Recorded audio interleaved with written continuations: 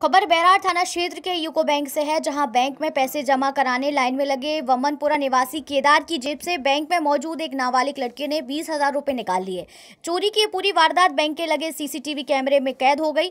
घटना के संबंध में प्राप्त जानकारी के अनुसार वमनपुरा निवासी केदार सोमवार को यूको बैंक बैराड़ में बीस हज़ार जमा करने गया था। जमा पर्ची भरकर जब वह लाइन में लगा, उसी समय एक नाबालिग लड़के ने उसकी जेब से बीस हज़ार निकाल लिए। घटना की रिपोर्ट पीरियड ने बैराड़ थाना पहुंचकर दर्ज कराई है पुलिस सीसीटीवी फुटेज के आधार पर चोर की तलाश में जुट गई है। क्या नाम है आपका? सीधा क्या हो गया आपके साथ?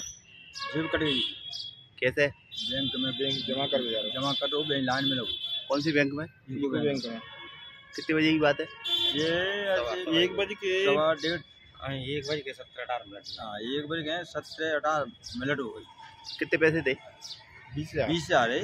पाँच पाँच सौ की नोट चालीस है।